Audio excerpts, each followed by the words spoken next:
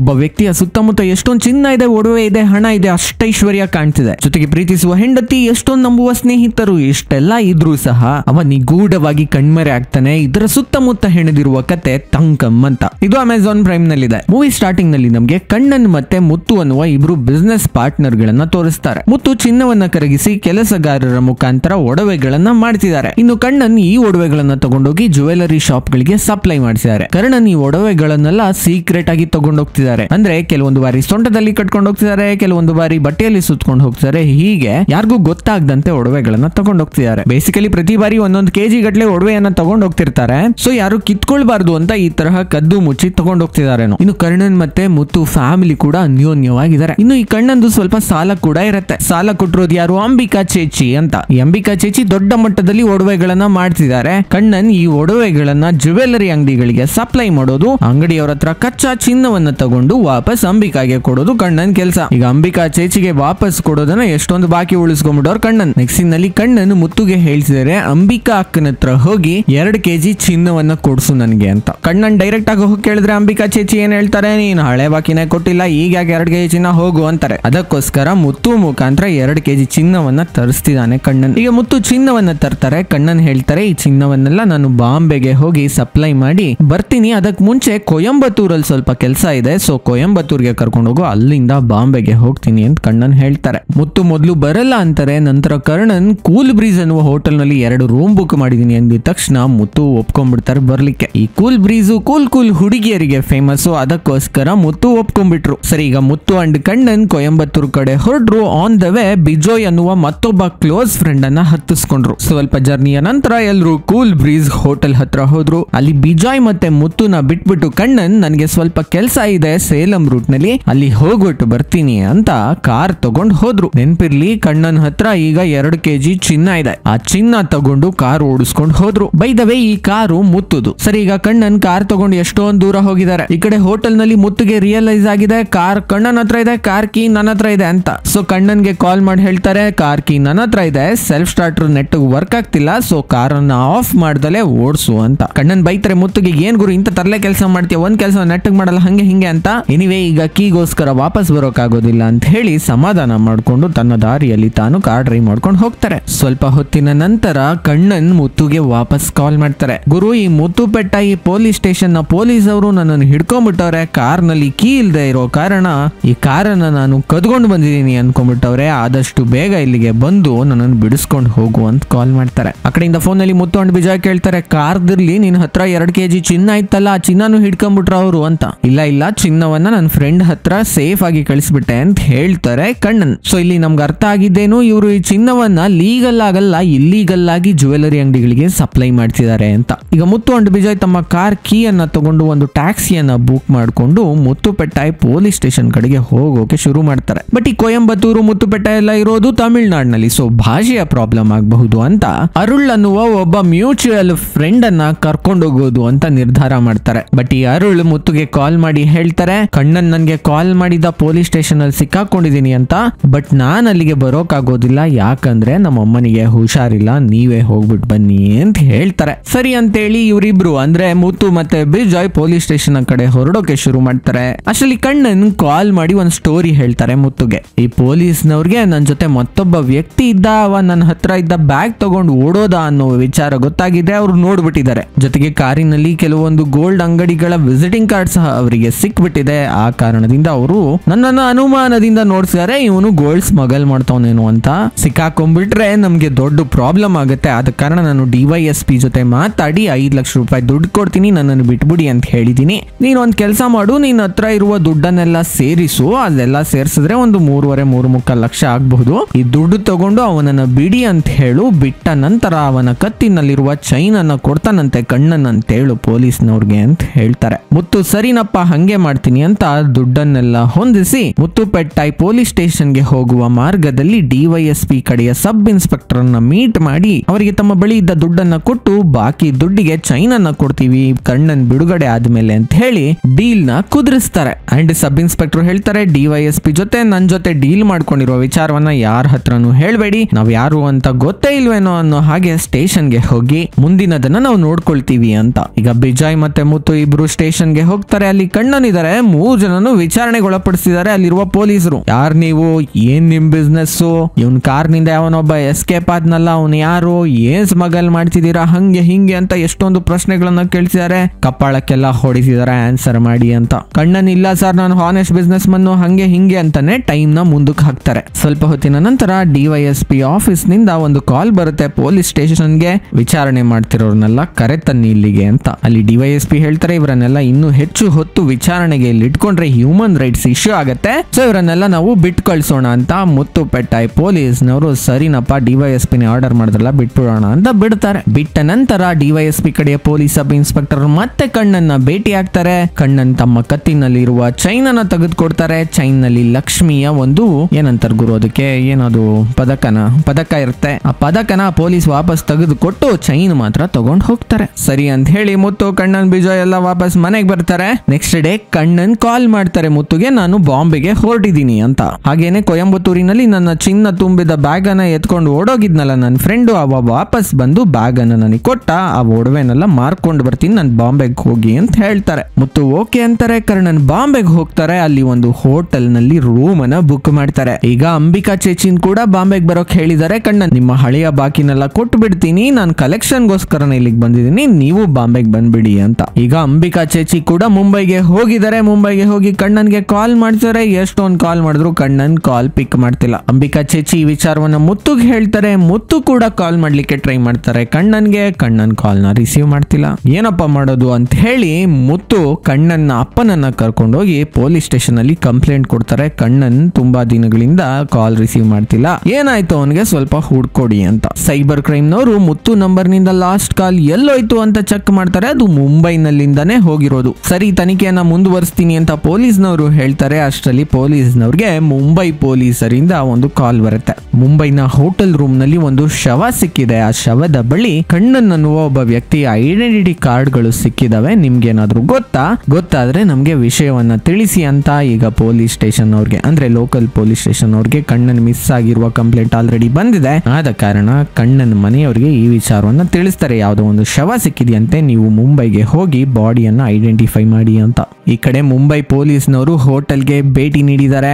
ಈಗ ಹೋಟೆಲ್ಗೆ ಎರಡೆರಡು ಬೀಗಗಳು ಬಿದ್ದಿವೆ. ಒಂದು ಹೋಟೆಲ್ನ ಬೀಗ, ಮತ್ತೊಂದು ಹೊರಗಿನ ಬೀಗ. ಈ ಹೊರಗಿನ ಬೀಗ ತಂದು ಹಾಕ್ತವ್ರು ಯಾರು ಅಂತ ಪೊಲೀಸ್ನವ್ರಿಗೆ ತಲೆ ಕೆಡತ್ತೆ. ಬೇಸಿಕಲಿ ಕಣ್ಣನ್ ಎರಡು ದಿನದಿಂದ ಕಾಲ್ ರಿಸೀವ್ ಮಾಡಿಲ್ಲ ಅಂತ ಹೋಟೆಲ್ನವರು ಈ ಬೀಗವನ್ನ ಹೊಡೆದಾಕ್ಬಿಟ್ಟು ಒಳಗ್ ಹೋಗವ್ರೆ. ಈಗ ಪೊಲೀಸ್ನವ್ರು ಕೂಡ ಒಳಗ್ ಹೋಗಿದ್ದಾರೆ. ಒಳಗ್ ಹೋದ್ರೆ ಕಣ್ಣನ್ನ ಶವ ನೇತಾಡ್ತಿದೆ. ನೋಡೋಕೆ ಅವರೇ ತಮ್ಮ ಜೀವವನ್ನ ತಾವು ತಗೊಂಡ್ಬಿಟ್ರೇನೋ ಅಂತ ಅನ್ಸತ್ತೆ. ಆದ್ರೆ ಕೆಳಗೆ ಎಷ್ಟೊಂದು ರಕ್ತ ಬಿದ್ದಿದೆ. ಬಾಡಿ ಮೇಲೆ ಗಾಯದ ಗುರುತುಗಳಿದಾವೆ. ಅಂಡ್ ರೂಮ್ ನಲ್ಲೆಲ್ಲ ಯಾರೋ ಬಂದು ಹುಡುಕಾಡಿದ ಸಾಕ್ಷಿಗಳು ಕಾಣಿಸಿದವೆ. ಎಲ್ಲಾ ಬೆಲೆ ಬಾಳುವ ವಸ್ತುಗಳು ಅಲ್ಲಿಂದ ಮಾಯ ಆಗಿದ್ದಾವೆ ಸೊ ಪೊಲೀಸ್ನವ್ರಿಗೆ ಈಗ ಡೌಟ್ ಬರುತ್ತೆ, ಕಣ್ಣನ್ನ ಯಾರೋ ಕೊಲೆ ಮಾಡಿದ್ದಾರೆ ಅಂತ. ಸರಿ, ಈಗ ಕಣ್ಣನ್ ಫ್ಯಾಮಿಲಿ ಮುತ್ತು, ಬಿಜಾಯ್ ಎಲ್ಲರೂ ಹೋಗ್ತಾರೆ, ಬಾಂಬೆಗೆ ಐಡೆಂಟಿಫೈ ಮಾಡ್ತಾರೆ, ಇದು ಕಣ್ಣನ್ನೇ ಅಂತ. ಅಂಡ್ ಪೊಲೀಸ್ನವರು ಈ ಕೊಲೆ ಕೇಸ್ನ ತನಿಖೆಯನ್ನ ಶುರು ಹಚ್ಕೊಳ್ತಾರೆ. ತನಿಖಾಧಿಕಾರಿಯ ಹೆಸರು ವಿಜಯ್ ಸಾಖಾಳ್ಕರ್ ಅಂತ. ಇವರು ಸಿಕ್ಕಾಪಟ್ಟೆ ಸ್ಟ್ರಿಕ್ಟ್ ಕೊಲೆ ಕೇಸ್ ಹಿಡ್ದಾಕೋದ್ರಲ್ಲಿ ಬಹಳ ಎತ್ತಿದ ಕೈ. ಈಗ ವಿಜಯ್ ಒಂದಷ್ಟು ಜನ ಪೊಲೀಸ್ ಸಹಚರರನ್ನ ಕರ್ಕೊಂಡು ಕೇರಳಗೆ ಬರ್ತಾರೆ, ಎಲ್ಲವನ್ನ ಎನ್ಕ್ವೈರಿ ಮಾಡ್ಲಿಕ್ಕೆ ಶುರು ಮಾಡ್ತಾರೆ. ಮೊದಲನೇದಾಗಿ ವಿಜಯ್ನ ಫ್ಯಾಮಿಲಿ ಅಂಡ್ ಫ್ರೆಂಡ್ಸ್ನ ವಿಚಾರಣೆಗೊಳಪಡಿಸ್ತಾರೆ. ಹೆಂಡತಿನ ಕೇಳ್ತಾರೆ, ನಿಮ್ಮ ಸಂಬಂಧ ಹೇಗಿತ್ತು? ಏನಾದರೂ ಸಾಲ ಸೋಲ ಮಾಡ್ಕೊಂಡಿದ್ರ ಕಣ್ಣನ್? ಅಂತ ಹೆಂಡತಿ ಹೇಳ್ತಾರೆ, ನಮ್ಮ ಸಂಬಂಧ ಚೆನ್ನಾಗೇ ಇತ್ತು ಅಲ್ಪ ಸ್ವಲ್ಪ ಸಾಲಗಳಿದ್ವು ಅಂತ. ನೆಕ್ಸ್ಟ್ ಮುತ್ತುನ ಕೇಳ್ತಾರೆ, ನಿಮ್ಮ ಬಿಸ್ನೆಸ್ ಹೇಗೆ ನಡೆಯುತ್ತೆ? ಅಂತ. ಮುತ್ತು ಹೇಳ್ತಾರೆ, ನಾವು ಚಿನ್ನದ ಒಡವೆಗಳನ್ನ ಬಾಂಬೆವರೆಗೂ ಸಪ್ಲೈ ಮಾಡ್ತೀವಿ. ಕೇರಳದಲ್ಲಿ ಒಡವೆಗಳನ್ನ ತಯಾರು ಮಾಡಿ ಜುವೆಲರಿ ಶಾಪ್ಗೆ ಒಡವೆಗಳನ್ನ ನಾವು ಸಪ್ಲೈ ಮಾಡ್ತೀವಿ. ಜುವೆಲರಿ ಅಂಗಡಿಯವರು ನಮಗೆ ಹಂಡ್ರೆಡ್ ಪರ್ಸೆಂಟ್ ಪ್ಯೂರ್ ಗೋಲ್ಡ್ ಅನ್ನ ಕೊಡ್ತಾರೆ. ಈಗ ನಾವು ಒಡವೆ ಮಾಡುವಾಗ ಅದ್ರೊಳಗಡೆ ತಾಮ್ರದ ಒಂದಷ್ಟು ಪರ್ಸೆಂಟೇಜ್ ಅನ್ನ ಹಾಕ್ತಿವಲ್ಲ, ಅದು ನಮ್ಮ ಪ್ರಾಫಿಟ್ ಬೇಸಿಕಲಿ ಟೆನ್ ಪರ್ಸೆಂಟ್ ತಾಮ್ರ ಹಾಕಿದ್ರೆ ಟೆನ್ ಪರ್ಸೆಂಟ್ ಇವರಿಗೆ ಪ್ಯೂರ್ ಗೋಲ್ಡ್ ಸಿಗತ್ತೆ. ಸೊ ಇದು ಇವರ ಬಿಸ್ನೆಸ್ ಮಾಡೆಲ್ ಈಗ ಮುತ್ತುದು ಒಡವೆ ತಯಾರು ಮಾಡೋ ಕೆಲಸ, ಕಣ್ಣಂದು ಒಡವೆನ ಸಪ್ಲೈ ಮಾಡೋ ಕೆಲಸ. ಸಪ್ಲೈ ಮಾಡೋನ್ನ ಎಲ್ರು ಗೋಲ್ಡ್ ರೈಡರ್ ಅಂತ ಕರೀತಾರೆ. ಈ ರೈಡರ್ಗಳು ಯಾವ ದಾರಿಯಲ್ಲಿ ಹೋಗ್ತಾರೆ ಎಲ್ಲಿ ಹೋಗ್ತಾರೆ ಅಂತ ಯಾರು ಕೇಳೋದಿಲ್ಲ. ಯಾರಾದ್ರೂ ಕೇಳಿದ್ರೆ ಸಹ ಅವರಿಗೆ ಸುಳ್ಳು ಹೇಳ್ಬಿಟ್ಟು ಹೋಗ್ತಾರೆ. ಯಾಕಂದ್ರೆ ಅವ್ರ ಹತ್ರ ಎಷ್ಟೊಂದು ಒಡವೆಗಳಿದೆ. ಯಾರಾದ್ರೂ ಕಳ್ಳರುಗಳು ಆ ರೂಟ್ನಲ್ಲಿ ಬಂದು ಚಿನ್ನ ಕಿತ್ಕೊಂಡು ಹೋಗ್ಬಿಟ್ಟಾರು ಅನ್ನುವ ಭಯದಿಂದ ಗೋಲ್ಡ್ ರೈಡರ್ಗಳು ಸೀಕ್ರೆಟ್ ಆಗಿ ತಮ್ಮ ದಾರಿಯನ್ನ ಮೇಂಟೈನ್ ಮಾಡ್ತಾರೆ. ಇದೇ ಕಾರಣದಿಂದ ಮುತ್ತು ಕೂಡ ಕಣ್ಣನ್ನ ಜಾಸ್ತಿ ಪ್ರಶ್ನೆಗಳನ್ನ ಕೇಳೋದಿಲ್ಲ. ಎಲ್ಲಿ ಹೋದೆ, ಯಾರಿಗೆ ಕೊಟ್ಟೆ, ಯಾವ ರೂಟಲ್ಲಿ ಹೋಗ್ತಿದ್ಯಾ ಅಂತ. ಇದಾದ್ಮೇಲೆ ಕಣ್ಣನ್ನ ಬಳಿ ಎಷ್ಟು ಚಿನ್ನ ಇತ್ತು, ಆ ಚಿನ್ನವನ್ನ ದೋಚ್ಕೊಂಡು ಹೋಗಕ್ಕೆ ಯಾರಾದ್ರೂ ಅಟ್ಯಾಕ್ ಮಾಡಿರಬಹುದಾ ಅಂತ ಪೊಲೀಸ್ನವರು ಪ್ರಶ್ನೆಗಳನ್ನ ಕೇಳ್ತಾರೆ. ಅಂಬಿಕಾ ಚಾಚಿಗೆ ಮತ್ತೆ ಮುತ್ತುಗೆ. ಆಗ ಅಂಬಿಕಾ ಚೇಚಿ ಹೇಳ್ತಾರೆ, ನಂದು ಎರಡು ಕೆಜಿ ಇತ್ತು ಅಂತ. ಅಂಡ್ ಮುತ್ತು ಹೇಳ್ತಾರೆ, ಅಂಬಿಕಾ ಚೇಚಿಯ ಎರಡು ಕೆಜಿ ಚಿನ್ನದ ಜೊತೆಗೆ ಹಳೆಯ ಬಾಕಿ ಇತ್ತು. ಆರ್ ಕೆಜಿ ಚಿನ್ನ ಅದನ್ನು ಕಲೆಕ್ಟ್ ಮಾಡಿದ್ರು. ಸೊ ಟೋಟಲ್ ಎಂಟು ಕೆಜಿ ಇತ್ತು ಕಣ್ಣನ್ ಹತ್ರ ಅಂತ. ಇದರ ಜೊತೆಗೆ ಕಣ್ಣನ್ ಉಳ್ಕೊಂಡಿದ್ದ ಹೋಟೆಲ್ನ ಸಿ ಸಿ ಟಿವಿ ಕ್ಯಾಮ್ರಾನ ಕೂಡ ಚೆಕ್ ಮಾಡ್ತಾರೆ. ಅಲ್ಲಿ ಗೊತ್ತಾಗುತ್ತೆ ಕಣ್ಣನ್ನ ಯಾರೋ ಒಬ್ಬ ವ್ಯಕ್ತಿ ಹೋಟೆಲ್ ಒಳಗೆ ಫಾಲೋ ಮಾಡ್ಕೊಂಡು ಬಂದ ಕಣ್ಣನ್ನ ರೂಮಿನ ಕಡೆ ಹೋದ.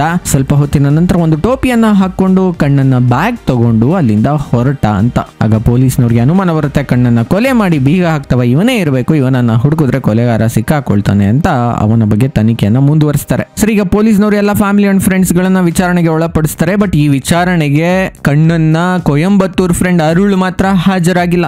ಅರುಳ್ ಕಣ್ಣನ್ನ ಅಂತ್ಯ ಸಂಸ್ಕಾರಕ್ಕೂ ಬಂದಿಲ್ಲ, ವಿಚಾರಣೆಗೂ ಹಾಜರಾಗಿಲ್ಲ, ಇವ ಯಾಕೆ ಬಂದಿಲ್ಲ ಅಂತ ಪೊಲೀಸ್ನವ್ರಿಗೆ ಡೌಟ್ ಶುರುವಾಗುತ್ತೆ ಅವನ ಮೇಲೆ. ಅಂಡ್ ಮ್ಯಾಥ್ಯೂ ಮತ್ತೆ ಬಿಜಾಯ್ಗೆ ಕೂಡ ಡೌಟ್ ಇದೆ, ಅರುಳ್ ಮೇಲೆ. ಅವ ಯಾಕೆ ಬರಲಿಲ್ಲ, ವಿಚಾರಣೆಗೆ ಯಾಕೆ ಹಾಜರಾಗ್ಲಿಲ್ಲ ಅಂತ. ನೆಕ್ಸ್ಟ್ ಕೊಯಂಬತ್ತೂರ್ಗೆ ಹೋಗಿ ಅರುಳ್ನ ಮನೆಗೆ ಭೇಟಿ ನೀಡಿ ಅವನನ್ನ ವಿಚಾರಣೆ ಮಾಡಬೇಕು ಅಂತ ಪೊಲೀಸ್ನವರು ನಿರ್ಧಾರ ಮಾಡಿ ಕೊಯಂಬತ್ತೂರ್ಗೆ ಹೋಗ್ತಾರೆ ಅರುಣ್ನ ಭೇಟಿ ಆಗ್ತಾರೆ ಅರುಳ್ ಹೇಳ್ತಾರೆ, ನನಗೂ ಈ ಕೊಲೆಗೂ ಯಾವುದೇ ಸಂಬಂಧ ಇಲ್ಲ, ಅದರ ಬಗ್ಗೆ ನನಗೆ ಏನೂ ಗೊತ್ತಿಲ್ಲ, ನಮ್ಮ ಅಮ್ಮನಿಗೆ ಹುಷಾರಿರ್ಲಿಲ್ಲ ಆದ ಕಾರಣ ಕಣ್ಣನ್ನ ಅಂತ್ಯ ಸಂಸ್ಕಾರಕ್ಕೂ ಬರೋಕಾಗ್ಲಿಲ್ಲ, ವಿಚಾರಣೆಗೂ ಬರೋಕಾಗ್ಲಿಲ್ಲ ಅಂತ. ಈಗ ಪೊಲೀಸ್ನವರು ಫರ್ದರ್ ವಿಚಾರಣೆಯನ್ನ ಮಾಡ್ತಾರೆ. ಅರುಳ್ನ ನೋಡಪ್ಪ, ಕಣ್ಣನ್ ಬಾಂಬೆಗೆ ಹೋಗೋಕೆ ಮುಂಚೆ ಕೊಯಂಬತ್ತೂರ್ಗೆ ಬಂದು ಮುತ್ತುಪೆಟ್ಟಾಯ್ ಪೊಲೀಸ್ ಅವ್ರ ಹತ್ರ ಸಿಕ್ಕಾಕೊಂಡಿದ್ದ. ಪೊಲೀಸ್ನವರು ಕಣ್ಣನ್ ಜೊತೆ ಮತ್ತೊಬ್ಬ ವ್ಯಕ್ತಿ ಇದ್ದಿದ್ದನ್ನು ನೋಡಿದ್ರು, ಅವ ಎಸ್ಕೇಪ್ ಆಗಿದ್ದನ್ನು ನೋಡಿದ್ರು. ಆ ಎಸ್ಕೇಪ್ ಆದ ವ್ಯಕ್ತಿಯ ಜೊತೆ ಒಂದು ಚಿನ್ನದ ಬ್ಯಾಗ್ ಅನ್ನ ಕೊಟ್ಟಿದ್ದ ಕಣ್ಣನ್ ಅದರ ಜೊತೆಗೆ ತನ್ನ ಮೊಬೈಲ್ ಅನ್ನು ಕೊಟ್ಟು ಕಳಿಸಿದ್ದ. ಬೇಸಿಕಲಿ ಕಣ್ಣನ್ ಹತ್ರ ಎರಡು ಮೊಬೈಲ್ ಇರುತ್ತೆ, ಒಂದು ಮೊಬೈಲ್ ಅನ್ನ ಎಸ್ಕೇಪ್ ಆದ ವ್ಯಕ್ತಿಗೆ ಕೊಟ್ಟಿದ್ದ. ಈಗ ಎಸ್ಕೇಪ್ ಆದ ವ್ಯಕ್ತಿಯ ಬಳಿ ಇದ್ದ ಮೊಬೈಲ್ಗೆ ಅರುಳ್ ಕಾಲ್ ಮಾಡಿ ನಲವತ್ತೈದು ಸೆಕೆಂಡ್ ಮಾತಾಡೋನೆ, ಏನಪ್ಪಾ ಮಾತಾಡ್ದೆ ನೀನು ಅಂತ ಕೇಳ್ತಾವ್ರ ಪೊಲೀಸ್ನವರು. ಅರುಳ್ ಹೇಳ್ತಾನೆ, ಇಲ್ಲ ಸರ್ ನಾ ಕಾಲ್ ಮಾಡಿದೆ ಬಟ್ ನೆಟ್ವರ್ಕ್ ಸಿಗ್ಲಿಲ್ಲ, ಸರಿಯಾಗಿ ವಾಯ್ಸ್ ಕೇಳಿಸ್ತಿರ್ಲಿಲ್ಲ. ಅಂತ ಆಗ ಪೊಲೀಸ್ನವ್ರು ಹೇಳ್ತಾರೆ ನಲ್ವತ್ತೈದು ಸೆಕೆಂಡ್ ಅಲೋ ಅಲೋ ಅಂತಲೇ ಅಂತಿದ್ದ ಅಂತ?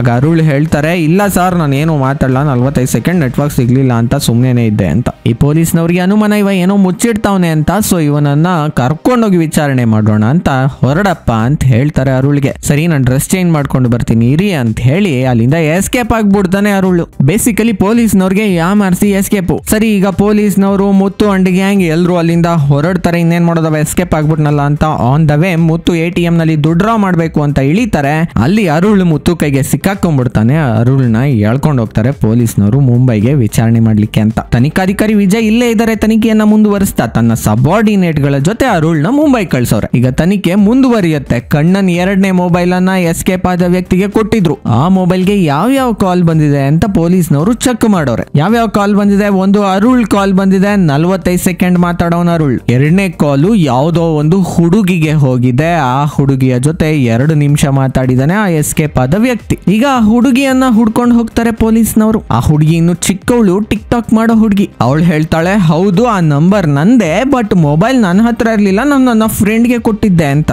ಯಾರದು ಫ್ರೆಂಡು ಅಂದ್ರೆ ಉತ್ತರ ಕೊಡೋದಿಲ್ಲ ಆ ಹುಡುಗಿ. ಸೊ, ಬಿಜಾಯ್ ಜೋರಾಗಿ ಹೆದರಿಸಿ ಕೇಳ್ತಾರೆ, ಯಾವನ ಅವ್ನ ಫ್ರೆಂಡು ಅಂತ. ಆಗ ಆ ಹುಡುಗಿ ಹೇಳ್ತಾಳೆ ಅವ ನನ್ನ ಬರೀ ಫ್ರೆಂಡ್ ಅಲ್ಲ, ನನ್ನ ಬಾಯ್ ಫ್ರೆಂಡು ಅವನ ಹೆಸರು ವೆಂಕಿ ಅಂತ. ಅವನ ಹತ್ರ ಇತ್ತು ನನ್ನ ಮೊಬೈಲು ಅಂತ. ಈ ವೆಂಕಿ ಯಾರು? ಆ ಏರಿಯಾದ ಪುಡಿ ರೌಡಿ. ಈಗ ಈ ವಿಕಿ ಏನೇನೋ ತರಲೆ ಮಾಡ್ಕೊಂಡು ಜೈಲ್ನಲ್ಲಿ ಇದ್ದಾನೆ. So ಮುತ್ತುಪೆಟ್ಟಾಯಿನ D Y S P permission ತಗೊಂಡು ಜೈಲ್ನಲ್ಲಿ ಈ ವಿಕಿಯ ವಿಚಾರಣೆ ಮಾಡಬೇಕು ಅಂತ ಹೋಗ್ತಾರೆ ವಿಜಯ್. ನಿನಗೆ ಈ ನಂಬರ್ನಿಂದ ಒಂದು ಕಾಲ್ ಬಂದಿತ್ತು. ನೀನು ಎರಡು ನಿಮಿಷ ಮಾತಾಡಿದ್ಯಾ? ಸ್ವಲ್ಪ ದಿನಗಳ ಮುಂಚೆ ಯಾರು ನಿಂಗೆ ಕಾಲ್ ಮಾಡಿದವರು ಅಂತ ಕೇಳ್ತಾರೆ. ಆ ವಿಕಿ ಡ್ರಾಮಾ ಮಾಡ್ತಾವ್ ನನಗೆ ನೆನ್ನೆ ಮೊನ್ನೆ ನೆನಪಿರಲ್ಲ, ಇನ್ ಯಾವತ್ತೋ ಫೋನ್ ಮಾಡಿರೋದು ನೆನಪಿರುತ್ತಾ ಸರ್ ಅಂತ. ಆಗ ವಿಜಯ್ ವಿಕಿಯ ಕಾಲನ್ನ ಶೂ ಕಾಲಿನಲ್ಲಿ ತುಳಿತಾ ಏನೋ ನಾಟಕ ಆಡ್ತಿದ್ಯಾ ಅಂತ ಪ್ರೆಷರ್ ಕೊಡ್ಕೊಂಡ್ ಕೇಳ್ತಾರೆ. ಹೇಳಿ ಯಾರು ಕಾಲ್ ಮಾಡಿದ್ದು ಅಂತ. ಆಗ ವಿಕ್ಕಿ ನಿಜವನ್ನ ಬಾಯ್ ಬಿಡ್ಲಿಕ್ಕೆ ಶುರು ಮಾಡ್ತಾನೆ. ಅವತ್ತು ನನಗೆ ಕಾಲ್ ಮಾಡಿದ್ದು ಅಬ್ಬಾಸ್ ಬಾಯಿ. ನಾನು ಯಾವುದೋ ಒಂದು ಹಳ್ಳಿಯಲ್ಲಿದ್ದೀನಿ, ನನ್ನನ್ನ ಪಿಕಪ್ ಮಾಡಿ ಕೊಯಂಬತ್ತೂರ್ಗೆ ಕರ್ಕೊಂಡು ಹೋಗಪ್ಪ ಅಂತ ನನಗೆ ಕಾಲ್ ಮಾಡಿದ್ರು. ಅದೇ ವಿಚಾರವನ್ನ ನಾವು ಎರಡು ನಿಮಿಷ ಮಾತಾಡ್ತಿದ್ವಿ ಅಂತ. ಈ ಅಬ್ಬಾಸ್ ಕೂಡ ರೌಡಿ ವಾಂಟೆಡ್ ಲಿಸ್ಟ್ನಲ್ಲಿ ಅವನೇ ಪೊಲೀಸ್ನವ್ರಿಗೆಲ್ಲ ಗೊತ್ತು. ಆ ಹೋಟೆಲ್ನಲ್ಲಿ ಕಣ್ಣಂದು ಬ್ಯಾಕ್ ಪ್ಯಾಕ್ ಹಾಕೊಂಡು ಹೋಗ್ತಿದ್ನಲ್ಲ ವ್ಯಕ್ತಿ, ಅವನೇ ಅಬ್ಬಾಸ್ ಅಂತ ಪೊಲೀಸ್ನವರು ಗುರ್ತ್ ಸಹ ಹಿಡಿತಾರೆ. ಪೊಲೀಸ್ನವರು ಅಂದ್ರೆ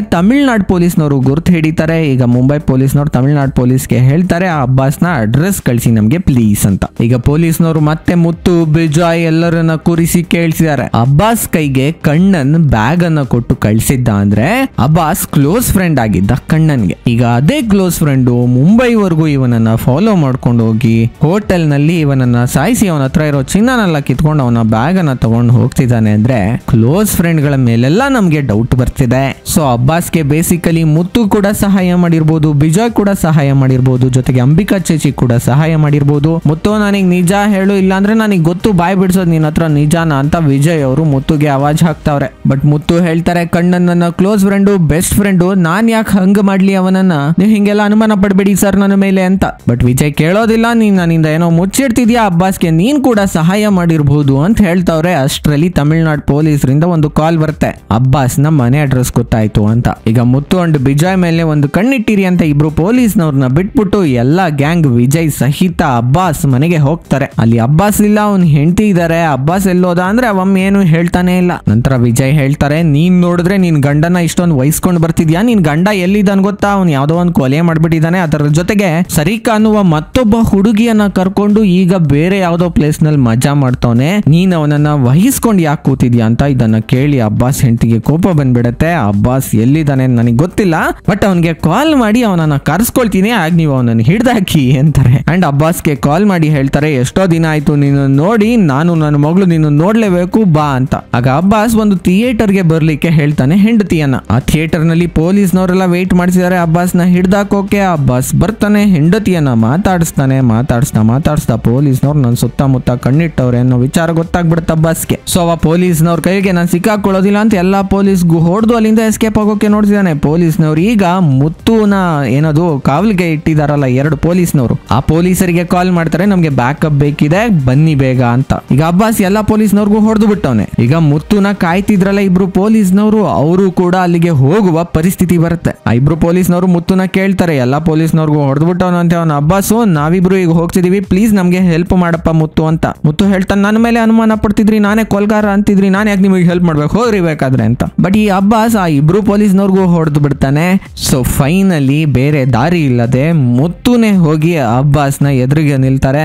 ಅಬ್ಬಾಸ್ ಜೊತೆ ಹೊಡೆದಾಡ್ತಾರೆ. ಹೊಡೆದಾಡ್ಬಿಟ್ಟು ಮುತ್ತು ಮತ್ತೆ ಬಿಜಾಯ್ ಇಬ್ರು ಸೇರ್ಕೊಂಡು ಅಬ್ಬಾಸ್ನ ಹೆಡೆಮುರಿ ಕಟ್ತಾರೆ. ನಂತರ ಹೊಡೆಸ್ಕೊಂಡು ಬಂದ ಪೊಲೀಸ್ನವರು ಸುಧಾರಿಸ್ಕೊಂಡು ಬಂದು ಈಗ ಅಬ್ಬಾಸ್ನ ಕರ್ಕೊಂಡು ಮುಂಬೈಗೆ ಹೋಗೋದು ಅಂತ ಡಿಸೈಡ್ ಮಾಡ್ತಾರೆ. ಅಂಡ್ ಮುತ್ತುಗೆ ಹೇಳ್ತಾರೆ, ನೀನು ಕೂಡ ಮುಂಬೈಗೆ ಬಂದ್ಬಿಡಪ್ಪ. ಅಲ್ಲಿ ಫೈನಲ್ ಆಗಿ ಡಿಸೈಡ್ ಮಾಡ್ಬಿಡೋಣ ಯಾರು ಕೊಲೆಗಾರ ಅಂತ. ಮುಂಬೈಗೆ ಕರ್ಕೊಂಡೋಗಿ ಅಬ್ಬಾಸ್ನ ವಿಚಾರಣೆಗೊಳಪಡಿಸ್ತಾರೆ ಪೊಲೀಸ್ನವರು. ನಂತರ ಅಬ್ಬಾಸ್ ನಿಜವಾದ ವಿಚಾರವನ್ನ ಹೇಳಲಿಕ್ಕೆ ಶುರು ಮಾಡ್ತಾರೆ. ಅಬ್ಬಾಸ್, ಅರುಳ್ ಮತ್ತೆ ಕಣ್ಣನ್ ಮೂರ್ ಜನನು ಒಂದೇ ಕಾಲೇಜ್ನಲ್ಲಿ ಓದ್ದವರು. ಈಗ ಸಿಕ್ಕಾಪಟ್ಟೆ ಸಾಲ ಮಾಡ್ಕೊಂಡು ಫೈನಾನ್ಸ್ ಪ್ರಾಬ್ಲಮ್ ನಲ್ಲಿದ್ದ ಸೊ ಅದರಿಂದ ಎಸ್ಕೇಪ್ ಆಗೋಕೆ ಒಂದು ಪ್ಲಾನ್ ಮಾಡಿದ್ದ ನಮ್ ಹುಡುಗ ಕಣ್ಣನ್. ಇದ್ ರಿಸ್ಕಿ ಕಣಪ್ಪ ನಾನು ಹೇಳ್ದೆ, ಆದ್ರೂ ನನ್ನನ್ನ ಕನ್ವಿನ್ಸ್ ಮಾಡ್ಲಿಕ್ಕೋಸ್ಕರ ಮುತ್ತು ಪೆಟ್ಟಾಗಿ ಬಂದ ಅವತ್ತು. ಬಟ್ ಪೊಲೀಸ್ನವ್ರು ನಮ್ಮಿಬ್ಬರನ್ನ ನೋಡ್ಬಿಟ್ರು ಅವ್ರು ಏನಾದ್ರು ನಮ್ಮ ಹತ್ರ ಇರುವ ಒಡವೆಯನ್ನ ನೋಡಿದ್ರೆ ಪ್ರಾಬ್ಲಮ್ ಆಗುತ್ತೆ ಅಂತ ಪೊಲೀಸ್ನವರಿಂದ ಎಸ್ಕೇಪ್ ಆಗ್ಲಿಕ್ಕೆ ಟ್ರೈ ಮಾಡ್ದ ಕಣ್ಣನ್. ಅರ್ಧ ದಾರಿಯಲ್ಲಿ ನನ್ನನ್ನು ಇಳಿಸ್ಬಿಟ್ಟು ಬ್ಯಾಗು ಮತ್ತೆ ಫೋನ್ ಅನ್ನ ಕೊಟ್ಬಿಟ್ಟು ಹೇಳ್ದ, ಈ ಫೋನ್ನಲ್ಲಿ ಯಾರಿಗೂ ಕಾಲ್ ಮಾಡಬೇಡ, ಸುಮ್ನೆ ತೆಪ್ಪೋಗಿರು ಅಂತ. ಸ್ವಲ್ಪ ಹೊತ್ತಿನ ನಂತರ ಈ ಫೋನ್ಗೆ ಅರುಳ್ ಕಾಲ್ ಮಾಡಿ ಹೇಳ್ದ,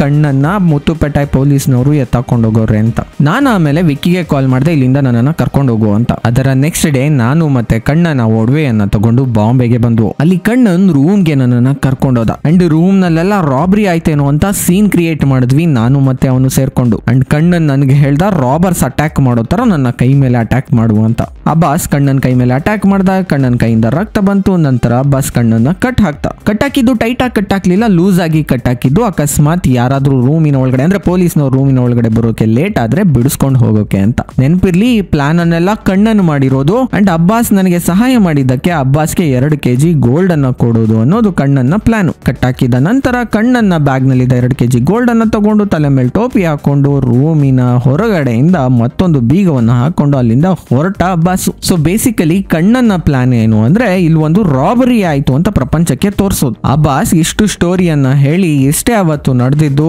ಇದಾದ್ಮೇಲೆ ಕಣ್ಣನ್ ತನ್ನನ್ನ ತಾನು ಹತ್ಯೆ ಮಾಡ್ಕೊಳ್ತಾನೆ ಅಂತ ನನಗೆ ಖಂಡಿತ ಗೊತ್ತಿರ್ಲಿಲ್ಲ ಅಂತ ಹೇಳ್ತಾನೆ. ಸೊ ಬೇಸಿಕಲಿ ಇದರಿಂದ ಅರ್ಥ ಆಗಿದ್ದೇನು ಅಬ್ಬಾಸ್ ಕೊಲೆ ಮಾಡಿಲ್ಲ ಕಣ್ಣಂದು ಅಂತ. ಹಾಗಿದ್ರೆ ನಿಜವಾಗ್ಲೂ ಕೊಲೆ ಮಾಡಿದವ್ರು ಯಾರು? ಇದಕ್ಕೆ ಉತ್ತರವನ್ನ ತನಿಖಾಧಿಕಾರಿ ವಿಜಯ್ ನಮ್ಗೆ ಕೊಡ್ತಾರೆ. ತನಿಖಾಧಿಕಾರಿಯಾಗಿ ನಾನು ಕ್ರೈಮ್ ಸ್ಪಾಟ್ಗೆ ಹೋದಾಗ ರೂಮಿಗೆ ಎರಡು ಬೀಗವನ್ನ ಹಾಕಲಾಗಿತ್ತು. ಒಂದು ಬೀಗ ಹೋಟೆಲ್ದು ಮತ್ತೊಬ್ಬ ವ್ಯಕ್ತಿ ಐ ಮೀನ್ ಮತ್ತೊಬ್ಬ ಬೀಗ ಕೊಲೆಗಾರನಿರಬಹುದು ಒಳಗಡೆ ಹೋದಾಗ ನಮಗೆ ಕಾಣಿಸಿದ್ದು ಸಿಕ್ಕಾಪಟ್ಟೆ ಕೆಳಗೆಲ್ಲ ರಕ್ತ ಬಿದ್ದಿದೆ. ಯಾರೋ ಇವರನ್ನ ನೇತ್ ಹಾಕಿದ್ದಾರೆ. ಕೊಲೆ ಮಾಡಿ ನೇತ್ ಹಾಕಿರಬಹುದು. ನೇತ್ ಹಾಕ್ಬಿಟ್ಟು ರಾಬ್ರಿ ಮಾಡ್ಕೊಂಡು ಚಿನ್ನನೆಲ್ಲ ಕದ್ಕೊಂಡು ಹೋಗಿರಬಹುದು ಅಂತ ನಮಗೆ ಅನ್ನಿಸ್ತಿತ್ತು. ಅಂಡ್ ಸಿ ಸಿ ಟಿವಿಯಲ್ಲಿ ಯಾರೋ ಒಬ್ಬ ಅನ್ಐಡೆಂಟಿಫೈಡ್ ವ್ಯಕ್ತಿ ಒಳಗಡೆ ಬಂದಿದ್ದು, ಹೊರಗಡೆ ಹೋಗಿದ್ದು ಕಾಣಿಸಿತ್ತು. ಅವನು ಕಣ್ಣನ್ನ ಬ್ಯಾಕ್ ಪ್ಯಾಕ್ನ ಕೂಡ ತಗೊಂಡು ಹೋಗಿದ್ದ. ಇದನ್ನೆಲ್ಲ ನೋಡಿದ್ರೆ ಇಲ್ಲೊಂದು ಪರ್ಫೆಕ್ಟ್ ಮರ್ಡರ್ ಆಗಿದೆ ಅಂತ ನಮಗೆ ಅನ್ನಿಸ್ತಿತ್ತು. ಆದ್ರೆ ಸೂಕ್ಷ್ಮವಾಗಿ ತನಿಖೆ ಮಾಡಿದಾಗ ನನಗೆ ಹಲವಾರು ಡೌಟ್ಗಳು ಬಂದವು. ಕಣ್ಣನ ಮೇಲೆ ಇಷ್ಟು ದೊಡ್ಡ ಅಟ್ಯಾಕ್ ಆದ್ರೂ ಸೌಂಡ್ ಮಾತ್ರ ಯಾಕೆ ಕೇಳಲಿಲ್ಲ ಹೊರಗಿನವರಿಗೆ? ಅದು ಒಂದನೇ ಪಾಯಿಂಟ್ ಎರಡನೇದಾಗಿ, ಕಣ್ಣನ್ನ ರಕ್ತ ಸಿಕ್ತ ಫಿಂಗರ್ ಪ್ರಿಂಟ್ಗಳು ಸ್ವಿಚ್ ಬೋರ್ಡ್ನ ಮೇಲಿದ್ವು ಫ್ಯಾನ್ನ ಮೇಲಿದ್ವು. ಈ ಫಿಂಗರ್ ಪ್ರಿಂಟ್ಗಳು ಅಲ್ಲ ಯಾಕೆ ಹೋದ್ವು ಅಂತ ನಮಗೆ ಡೌಟ್ ಶುರುವಾಯಿತು. ನಂತರ ಅಬ್ಬಾಸ್ನ ತನಿಖೆ ಮಾಡಿದ ನಂತರ ಈ ಡೌಟ್ ಗಳಿಗೆ ಕ್ಲಾರಿಟಿ ಸಿಕ್ಕು. ಇಲ್ಲಾಗಿರೋದು ಕಣ್ಣನ್ನ ಕೊಲೆಯಲ್ಲ, ಕಣ್ಣನ್ ತನ್ನನ್ನ ತಾನು ಹತ್ಯೆ ಮಾಡ್ಕೊಂಡಿದ್ದಾನೆ ಅಂತ. ತಿರುಗ್ತಿರೋ ಫ್ಯಾನ್ ಅನ್ನ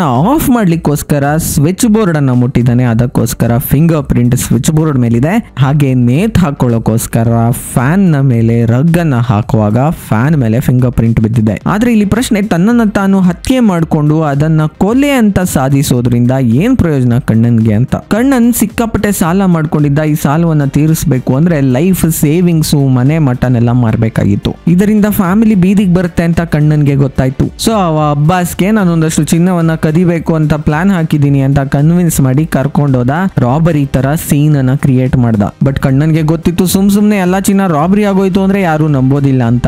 ಜೊತೆಗೆ ತನ್ನನ್ನ ತಾನು ಹತ್ಯೆ ಮಾಡ್ಕೊಂಡ್ರೆ ಸಾಲ ಮಾಡಿ ಸತ್ತೋದ ಅನ್ನುವ ಆರೋಪ ಬರ್ತಿತ್ತು ಇವನ ಮೇಲೆ. ಆದ್ರೆ ಚಿನ್ನ ಕಿತ್ಕೊಳ್ಳೋಕೋಸ್ಕರ ಯಾರೋ ಇವನನ್ನ ಕೊಲೆ ಮಾಡಿದ್ರು ಅಂದ್ರೆ ಎಷ್ಟೊಂದು ಸಿಂಪತಿ ಬರುತ್ತೆ ಕಣ್ಣನ ಮೇಲೆ. ಜೊತೆಗೆ ಕಣ್ಣನ್ನ ಫ್ಯಾಮಿಲಿಗೆ ಒಂದಷ್ಟು ಪರಿಹಾರ ಕೂಡ ಸಿಗತ್ತೆ. ಈ ಕಾರಣದಿಂದ ತನ್ನನ್ನ ತಾನು ಹತ್ಯೆ ಮಾಡಿಕೊಂಡು ಎಲ್ಲರಿಗೂ ಕೊಲೆ ಆಯ್ತು ಅಂತ ಬಿಂಬಿಸೋಕೆ ಪ್ರಯತ್ನ ಪಟ್ಟ ಕಣ್ಣನ್ನಂತ ಪೊಲೀಸ್ನವರು ಕನ್ಕ್ಲೂಷನ್ಗೆ ಬರ್ತಾರೆ. ಮುತ್ತು ಇದನ್ನೆಲ್ಲ ಕೇಳೋಕೆ ರೆಡಿ ಇಲ್ಲ. ನೋ ನೋ ನೋ ನೀವು ತನಿಖೆ ಸರಿಯಾಗಿ ಮಾಡಿಲ್ಲ. ಇದು ಕೊಲೆನೆ ಅಂತ ಅವ್ರು ಹೇಳ್ತಿದ್ದಾರೆ. ಬಟ್ ಕಣ್ಣನ್ನ ಹೆಂಡತಿ ಈ ತನಿಖೆಯನ್ನ ಅಕ್ಸೆಪ್ಟ್ ಮಾಡ್ಕೊಳ್ತಾರೆ. ಈ ತನಿಖೆಯನ್ನ ಮತ್ತೆ ಪರ್ಸೂ ಮಾಡೋದ್ರಿಂದ ಏನು ಪ್ರಯೋಜನ ಇಲ್ಲ ಅಂತ ಮುತ್ತುಗೆ ಹೇಳ್ತಾರೆ. ಅಂಡ್ ಅರುಳ್ನ ಕೂಡ ಪೊಲೀಸ್ನವರು ಈಗ ಬಿಡುಗಡೆ ಮಾಡಿದ್ದಾರೆ. ಅರುಳ್ ಕಣ್ಣನ್ನ ಹೆಂಡತಿಯ ಹತ್ರ ಬಂದು ಲಕ್ಷ್ಮಿಯ ಪದಕವನ್ನ ಅವಳಿಗೆ ಕೊಟ್ಬಿಟ್ಟು ಹೇಳ್ತಾರೆ. ಬಾಂಬೆಗೆ ಹೋಗೋಕೆ ಮುಂಚೆ ಕಣ್ಣನ್ನ ನನ್ನ ಭೇಟಿ ಮಾಡಿದ್ದ. ನನ್ನೆಲ್ಲಾ ಪ್ರಾಬ್ಲಮ್ ಗಳಿಗೂ ಸೊಲ್ಯೂಷನ್ ಅನ್ನು ನಾನು ಕಂಡ್ಕೊಂಡಿದ್ದೀನಿ. Final stage ನಲ್ಲಿದ್ದೀನಿ. ಅಲ್ಲೇನಾದ್ರೂ ಹೆಚ್ಚು ಕಮ್ಮಿ ಆದ್ರೆ ಈ ಪದಕವನ್ನ ನನ್ನ ಹೆಂಡತಿ ಕೊಟ್ಬಿಡು ಅಂತ ಹೇಳ್ದ ಅಂತ ಹೇಳಿ